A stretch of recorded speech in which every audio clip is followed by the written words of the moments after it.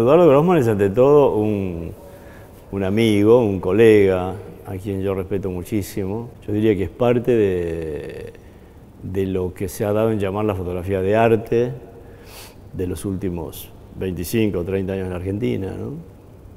Pero es al mismo tiempo un fotógrafo de oficio, ¿no? Y eso es algo que yo respeto mucho en los fotógrafos.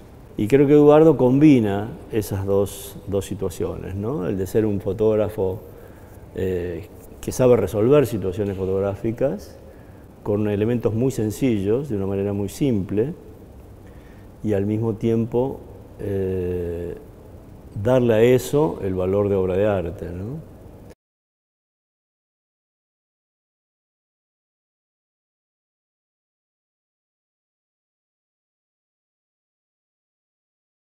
Lo que pretendo, lo que pretendo es que no haya un límite entre la foto adjetivada de alguna manera y mi foto personal. O sea, entre una foto periodística, entre comillas, que yo puedo poner en una, en una muestra, para mí ya dejó de ser periodística y si está acá no es por sus valores documentales, sino por sus valores autorales. O sea, esa foto también me representa como fotógrafo, más allá de estar hecha por encargo o, que sea de una situación histórica o no histórica determinada. La muestra se llama Eduardo Grossman Fotos, Antología Posible. Le pusimos Antología Posible porque era una, una de tantas, la que yo no pude hacer y pudo hacer Marco Zimmerman con su mirada sobre mi trabajo. Creo que lo que consiguió es este, unir los trabajos, los primeros del año 70 con los últimos del 2014. Se puede reconocer un, recorrido del mismo fotógrafo por, todo, por toda la sala.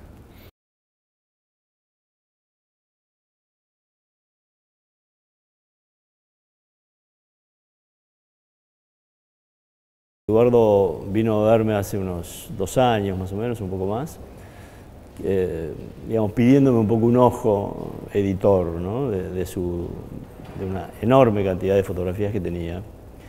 Y Eduardo tiene la particularidad de, eh, de, ser un fotógrafo muy ecléctico, un fotógrafo que tiene muchas miradas diferentes. Digamos. No es un fotógrafo que se ha sentado arriba de, de un cliché y que ha seguido con ese cliché todo el tiempo, sino que ha hecho cosas muy diferentes y otra de las cosas curiosas, digamos, es que las ha hecho y las sigue haciendo de manera simultánea. Es decir, de repente hace una foto y la inserta, digamos, en una serie, o hace otra foto con otra mirada diferente y la inserta en otra. ¿no? Eso es muy curioso. Cuando me vino a ver con, con mucha cantidad de fotografías, yo intenté e hice una edición de sus fotos, conjuntamente con él, porque como dije al principio, es, es un colega, es un amigo, con lo cual este, todo ha sido muy sencillo y además este, hemos compartido un poco todas las decisiones, ¿no? las decisiones no han sido solamente mías, digamos, sino que han sido también de Eduardo. Y, todas estas series compusieron finalmente un cierto itinerario que yo creé de alguna manera, eso sí, con una idea, digamos, te diría casi de, libro, ¿no? de, de continuidad al estilo libro o al estilo cinematográfico, digamos, al estilo narración, que empezaba en un sitio y terminaba en otro, ¿no? gráficamente y, conceptualmente. Eh, después aquí en, la sala, digamos, todo ese itinerario adquirió espacios diferentes y hubo que recomponer ese itinerario de otra manera. ¿no? Pero creo que hizo bien en poner la antología posible porque Eduardo tiene una enorme cantidad de material y, seguramente puede haber otra, otra selección de su trabajo que no, que no sea esta. Puede haber muchos Grossman posibles, digamos, ¿no?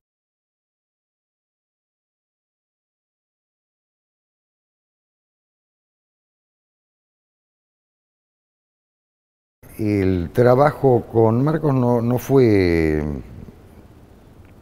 no fue un sufrimiento para mí porque quedaban afuera las fotos que más quiero, cosas por el estilo. Eh, no, no, fue un intercambio muy fluido. Este, acepté el, criterio general que de algún modo estableció él. Algunas fotos puntuales sí fueron motivo de discusión, pero muy pocas. Y no, no, fue muy bueno, muy bueno, no me cuesta. Bueno, en este caso no me costó.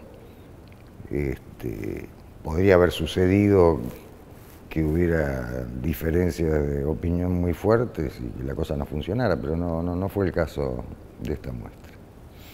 Fueron casi un año de trabajo con Marcos, mm, habrán sido dos meses de preselección y después de ajustes al saber que, cuál era la sala, las dimensiones de la sala. Ahí ya supimos qué cantidad de fotos realmente podían ser y bueno, por supuesto los últimos ajustes se hicieron cuando hicimos la colgada. Aquí estamos en un espacio eh, que se adaptó a, a, un espacio de arte, un espacio de muestra de arte, con lo cual se convierte en una sala que no es una sala normal, digamos, para organizar un trabajo. Si a esto le sumas el eclecticismo de Eduardo, digamos, eh, el organizar esta muestra, eh, te diría que me fue bastante difícil, ¿no? me fue una cosa sencilla.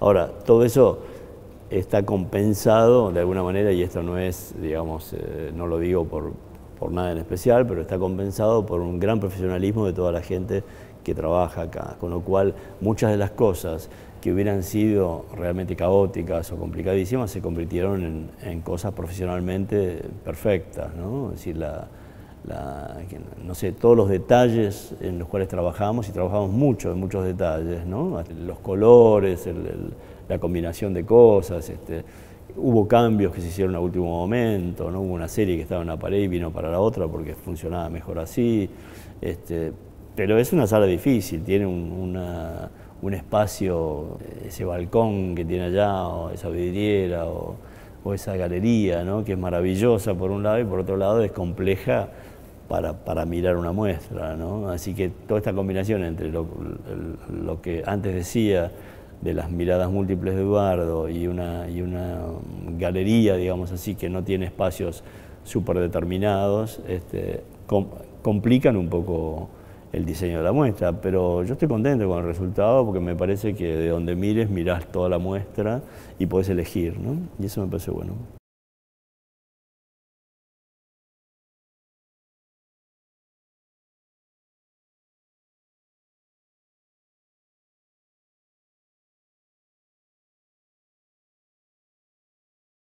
Son en realidad 13 capítulos diferentes, con, con 13, diría, conceptos diferentes. Pero en realidad los tres núcleos principales de la muestra son el, núcleo blanco y negro, que comienza en el centro de la sala y se, y se expande un poco hacia los costados.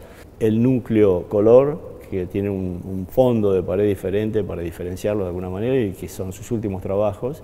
Y un trabajo especial que un poco identificó Eduardo durante muchos años, que son sus retratos, que están en una sala un poco separada. ¿no? Esos son los tres núcleos, pero es una muestra que se puede ver atravesada de muy diferentes formas. ¿no? De hecho, digamos, la, disposición de los espacios y de los paneles, eh, yo quería que fuera una muestra que se pudiera, desde cualquier lado que estés, ver otras, otras cosas, ¿no? porque así es un poco la mirada de Eduardo, es decir, es, un fotógrafo eh, muy sorprendente y muy sorpresivo, digamos, en su mirada. No, no me interesaba eh, construir un itinerario fijo, porque entras a un lugar y tenés una visión en conjunto, una primera visión de qué es lo que vas a ver, ¿no? Y esa primera visión es importante, digamos, te da una pauta de, por dónde o por qué. Acá me parece que el desconcertar un poco el que entra y que pueda agarrar para cualquier lado, me parece que eso es interesante, porque lo de Eduardo es un poco eso también, ¿no? Es, es, este, es mirar de una manera, es mirar de otra, o sea que no hay y además él insiste y ha insistido, digamos, en la apuesta que, en, la, cual, digamos, dialogamos muchísimo con ese mm, eclecticismo de que no le importa demasiado si una cosa está de un modo, está de otro, digamos, este, basta que los capítulos tengan una cierta unión, ¿no?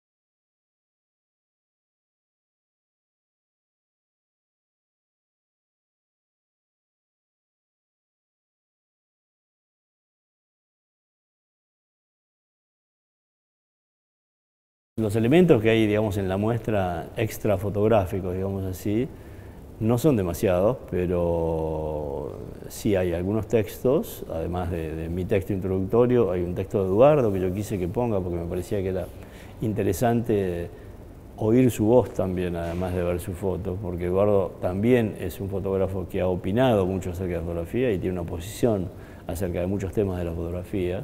Lo mismo pasó con el video, que es un video que, construyó Eduardo, pero insistí sin, en que hubiera un video, que exista información y, su palabra y su manera de decir y su manera de pensar, me parece que eso siempre ayuda. Lo mismo que la línea de vida, digamos, ahí hay un itinerario del trabajo de Eduardo desde, su, desde, que era chico, digamos, hasta que empezó a ser fotógrafo y luego toda su trayectoria y su carrera, ¿no? Y, ahí este, me parece que se ven algunos puntos así importantes en, su ser fotógrafo, digamos. Y después hay algunas frases que a mí me gustan especialmente y que al principio, digamos, no estaban planificadas y que fueron surgiendo al ver la sala y al ver un poco los espacios, etcétera, que son las frases que están en la sala de video, que son unas frases muy cortas, pero que dicen algunos conceptos, ¿no? sobre la fotografía. Y hay algunas que son muy, muy, muy, muy impactantes, me parece, y muy determinantes. Me pareció que aclarar cosas nunca está de más, ¿viste? decir cosas, ¿no? que, que, a veces no están en las fotos, o sea que a mí no me interesan las muestras que tienen cuatro fotos y tres spots, eh, digamos, y vos tenés que imaginar por qué hizo eso. Es mejor que ponga un cartel y que diga por qué lo hizo, porque ¿viste? Para, eso tenemos la boca, además de los ojos.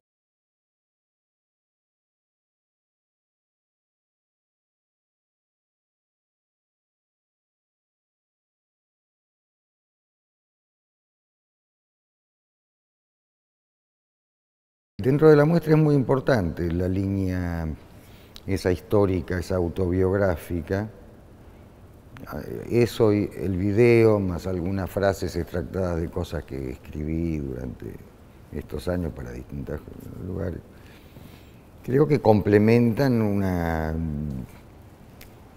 una visión de lo que fue mi vida como fotógrafo. Esa es una autobiografía fotográfica, de, fotógrafo y no, está en mi vida. Y,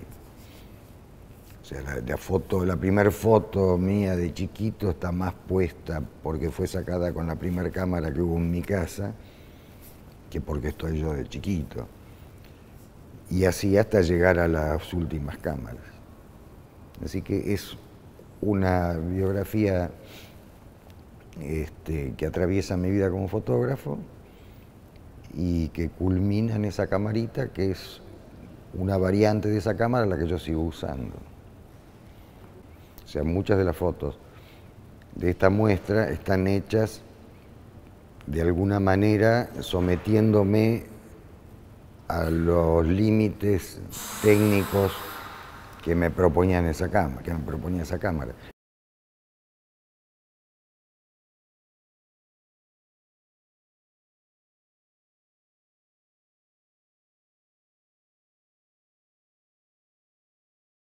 Chela es la mujer de Eduardo y, han compartido, digamos, la vida eh, de la cual, digamos, han quedado estas fotos, digamos, de Eduardo como artista, ¿no? Entonces me pareció muy, muy este, apropiado que fuera Chela la que interpretara ciertas cosas que, ni Eduardo y mucho menos a mí este, me era posible interpretar, ¿no? Así, a, mí hay algunas cosas que se me escapan y en estas pequeñas frases, en estos pequeños haikus de Chela Grossman, está eh, a lo mejor el espíritu de algunas cosas que ella este, sabe hay detrás de estas fotos y que a lo mejor aparecen eh, en algunas más obviamente, cuando uno lee estos haikus y los relaciona con esta serie fotográfica, eh, se, hace, se hace más explícito el mensaje. Y en algunos casos se hace mucho más este, difícil de entender hay algunos haikus que me dan la sensación de que tienen un valor en sí mismo, ¿no? más allá de, que acompañan una serie de fotografías. ¿no? Y sin embargo, cuando uno mira la serie y vuelve al haiku, es decir, arranca con el haiku, después mira la serie, después vuelve al haiku, a lo mejor encuentra en ese mismo, en ese mismo texto algo nuevo de lo que vio, ¿viste? Y, bueno, y todo ese diálogo entre imagen y texto a mí personalmente me gusta y me interesa. Eduardo es un fotógrafo que, como dije al principio, es un reportero gráfico, pero cargado de muchísimo espíritu en, las imágenes que hace. ¿no? Es decir, todas sus imágenes tienen un alma muy presente. ¿no? Es no es un fotógrafo crudo, es un fotógrafo lleno de, sustancia espiritual en, lo que hace. Y entonces me parece que estas frases eh, coinciden, digamos, con toda esta mirada, ¿no? así de, toda la muestra, y me pareció muy bien que estuvieran.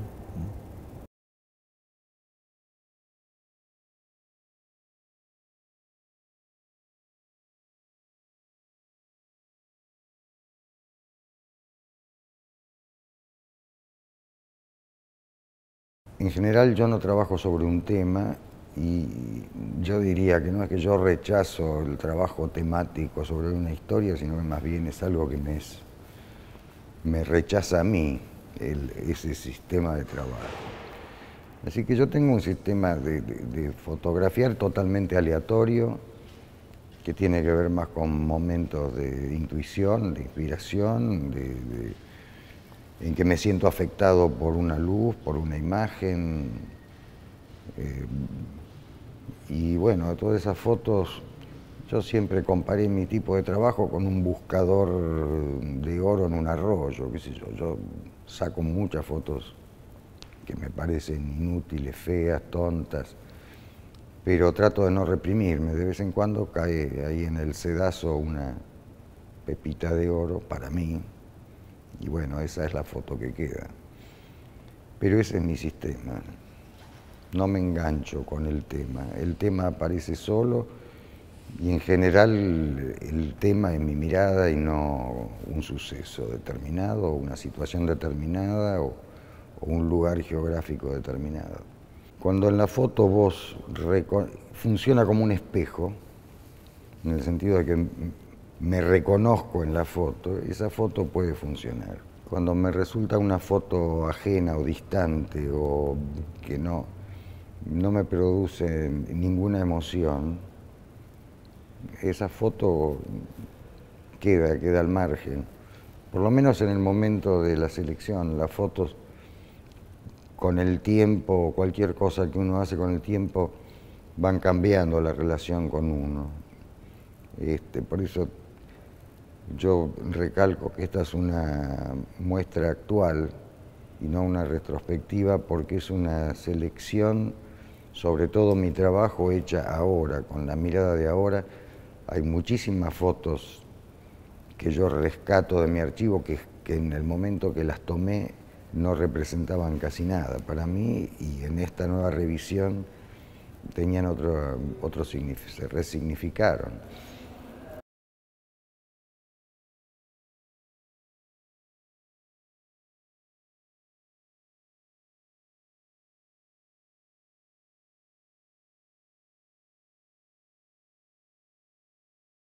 La vida es cambio.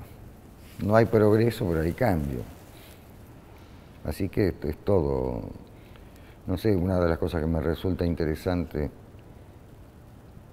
de esta muestra, de poder recorrer 40 años, es ver las dos cosas, el cambio y la continuidad. O sea, no somos los mismos, pero somos los mismos. O sea, hay cosas este, de un individuo que permanecen y hay muchas otras que cambian sobre todo cambian las que tienen que ver con, con el mundo. El mundo cambia. No es lo mismo la Argentina de 1970 que la de, la de 2015. Esto del individuo artista tiene sus límites. Uno no es un individuo aislado y en fotografía menos. O sea, este soy yo a través del ojo de una máquina, muy ligado a lo que yo llamo realidad. Mi estilo fotográfico es no prescindir de eso que llamo realidad y considero a la fotografía un refugio de la realidad. Me parece que lo que si uno lo mira, digamos, eh, desde afuera, lo primero que salta a los ojos de Eduardo es esa gran capacidad para, para ser distinto y reinventarse y volver a, volver a, mostrar el mundo de diferentes maneras. ¿no?